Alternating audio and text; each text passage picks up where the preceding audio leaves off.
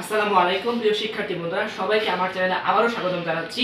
যারা এখনও আমার চ্যানেলটি সাবস্ক্রাইব করেনি, প্লিজ সাবস্ক্রাইব করে নাও। তো কথা না বানিয়ে চলো, আমরা মূল ভিডিওতে প্রবেশ করি।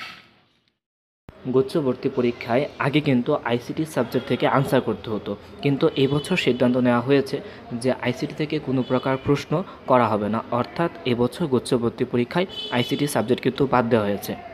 এখন তোমাদের মনে প্রশ্ন আসতে পারে, তাহলে আইসিটি এর পরিবর্তে এখন কোন সাবজেক্ট অ্যাড করা হয়েছে বা আসলে মানবন্টনটা কেমন হবে, কোন কোন সাবজেক্টের উপর পরীক্ষা অনুষ্ঠিত হবে, তো এই নিয়ে তোমাদের মধ্যে কৌতূহল আছে। তো আজকে ভিডিওতে সেই জিনিসটা ক্লিয়ার করার চেষ্টা করব। তো ক ইউনিটের ক্ষেত্রে পদার্থবিজ্ঞান এবং রসায়ন হচ্ছে আবশ্যিক সাবজেক্ট এই দুইটা সাবজেক্ট তোমাকে অবশ্যই অ্যান্সার করতে হবে। তবে তুমি যদি চাও জীববিজ্ঞান এবং গণিত, এই দুইটার মধ্যে যে কোনো একটা আনসার করতে পারো। যেটা আনসার করবা না তো সেটার পরিবর্তে তোমাকে বাংলা অথবা ইংরেজি দেখাইতে হবে। আর যদি চাও যে না, আমি জীববিজ্ঞান এবং গণিত এই দুইটাই আনসার করব, তো সেটাও করতে পারো। এবং কমার্সে প্রশ্ন মূলত করা হবে হচ্ছে হিসাব বিজ্ঞান, ব্যবস্থাপনা ও সংগঠন, বাংলা এবং হচ্ছে ইংরেজি। এই সাবজেক্টগুলো থেকে হচ্ছে কি, ব্যবসায় শিক্ষা অর্থাৎ কমার্স এই বিভাগের প্রশ্ন করা হবে। আর মানবিক বিভাগে মূলত হচ্ছে বাংলা, ইংরেজি এবং সাধারণ জ্ঞান এই তিনটি বিষয়ের উপর পরীক্ষা অনুষ্ঠিত হবে। তো আশা করি বুঝতে পারছ, বিজ্ঞান, তারপর ব্যবসায়ী শাখা এবং মানবিক বিভাগ, এই তিনটা বিভাগে কোন কোন সাবজেক্টের উপর পরীক্ষা অনুষ্ঠিত হবে। তো এখন পর্যন্ত সিদ্ধান্ত অনুযায়ী বিজ্ঞান বিভাগের পরীক্ষা অনুষ্ঠিত হবে ত্রিশে জুলাই, মানবিক বিভাগের পরীক্ষা অনুষ্ঠিত হবে তেরোই আগস্ট এবং বাণিজ্য বিভাগের পরীক্ষা অনুষ্ঠিত হবে হচ্ছে বিশে আগস্ট।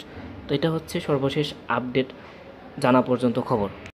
এবছর গুচ্ছের জন্য আবেদনের যে যোগ্যতা নির্ধারণ করা হয়েছে তা হচ্ছে বিজ্ঞান বিভাগে সেভেন পয়েন্ট জিরো জিরো মানবিকে হচ্ছে সিক্স পয়েন্ট জিরো জিরো এবং বাণিজ্যে হচ্ছে কি সিক্স পয়েন্ট ফাইভ যে বিষয়টা সবচেয়ে বেশি গুরুত্বপূর্ণ সেটা আলোচনা করা হয় নাই, সেটা হচ্ছে গুচ্ছ বিশ্ববিদ্যালয়ে ভর্তি পরীক্ষা এবছর অনুষ্ঠিত হবে একশো নম্বরের উপর।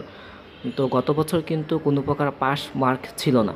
কিন্তু এবছর হচ্ছে পাস মার্ক নির্ধারণ করে দেওয়া হয়েছে এবং সেটা হচ্ছে ত্রিশ। যারা ত্রিশের নিচে পাবা, তারা কিন্তু পাস করতে পারবা না। তো ত্রিশের উপরে পেলেই কিন্তু তোমরা কৃতকার্য হিসেবে বিবেচিত হবা। এবং এবছর যেটা নিয়ে সবচেয়ে বেশি আলোচনা এবং সমালোচনা হচ্ছে, সেটা হচ্ছে আবেদন ফি। এবং গুচ্ছ বিশ্ববিদ্যালয় ভর্তি পরীক্ষার জন্য এবছর যেটা নির্ধারণ করা হয়েছে আবেদন ফি হিসেবে, সেটা হচ্ছে পনেরোশো টাকা। অর্থাৎ তোমাদেরকে পনেরোশো টাকা দিয়ে কিন্তু আবেদন করতে হবে।